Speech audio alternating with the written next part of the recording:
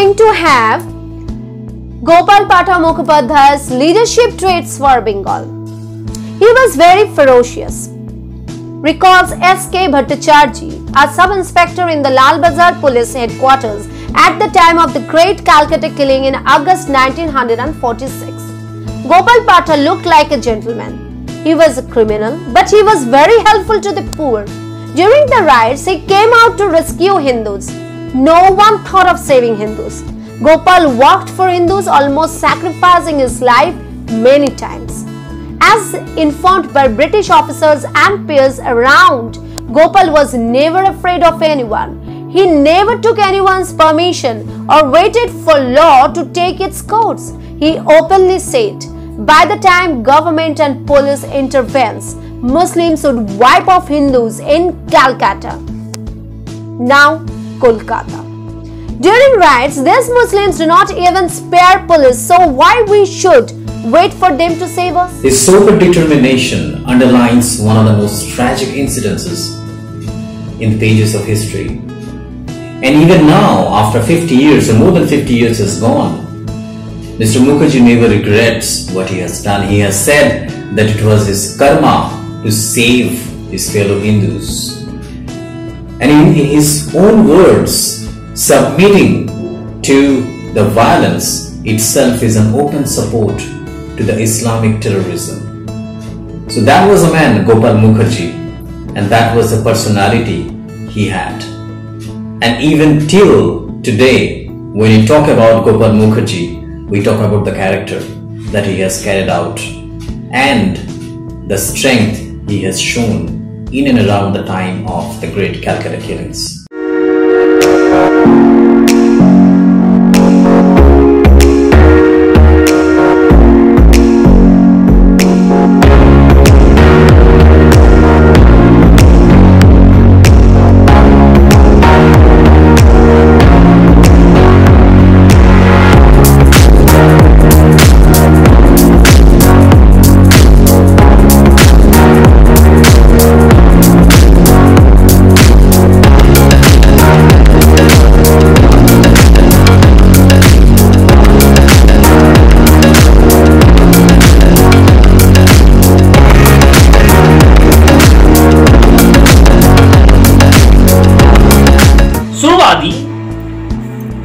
Instructed another Muslim League leader, Ghulam Sarwar Hussaini, to organize massacre of Hindi in Noakhali.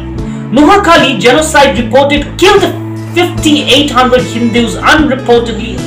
Accounts in local chronicles register count of more than 12,000 deaths of Hindus and over 1,800 forceful conversion to gangster cult Islam. Noakhali could not relate as there was no Gopal Patha.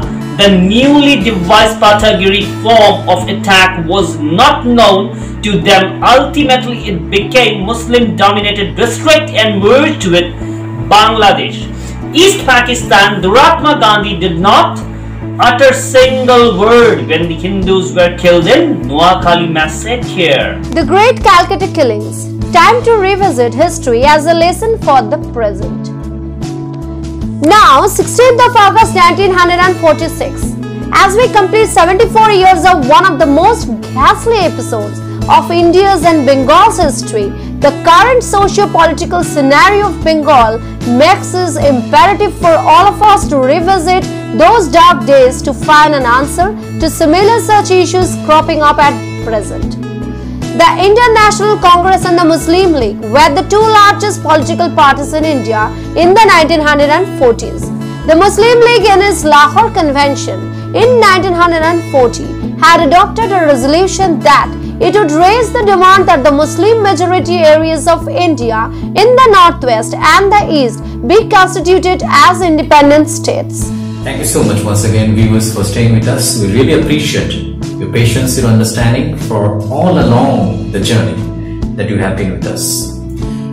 Now, when we talk about this specific time when the great Calcutta killings and the emerging differences between the Hindus and Muslims started to divide Bengal into different parts, we always should remember the role played by the then Prime Minister of Bengal, Mr. Suhrawardy. In fact, he was trying to apply the technique the British rulers tried to do in the year of 1905 by putting some of the idea to divide Bengal, that is the partition of Bengal, which somehow was not done.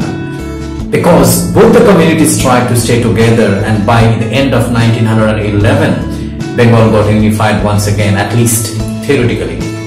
But somehow this person by the influence of Muhammad Ali Jinnah started applying a plan where they can add this whole Bengal with Pakistan using the differences of the two communities. The plan was very simple. What Suhrawardy wanted is to create some kind of fear in the minds of the Hindus that they either flee out of their place or they get killed. So if you kill 100 people, at least the remaining 4,000 people will flee out of the place out of fear. And that is the reason he started to figure out what is the exact population in Calcutta and what is the exact population in and around the outskirts of Calcutta in terms of Hindus and the Muslims. What was the count at that point in time? 64% was there in Calcutta, whereas the remaining part, like 33% were the Muslims over there in Calcutta. And across the remaining parts, the outskirts, there was a majority, 42% over there, as the Muslims were majority at that point in time. So what he tried to do is to create some kind of terror even across the outskirts of Calcutta, that is like Howrah and Hooghly, where the Muslims will try to kill the Hindus, and the Hindus will either die or flee away from their place, keeping all those places, the belongings for the Muslims.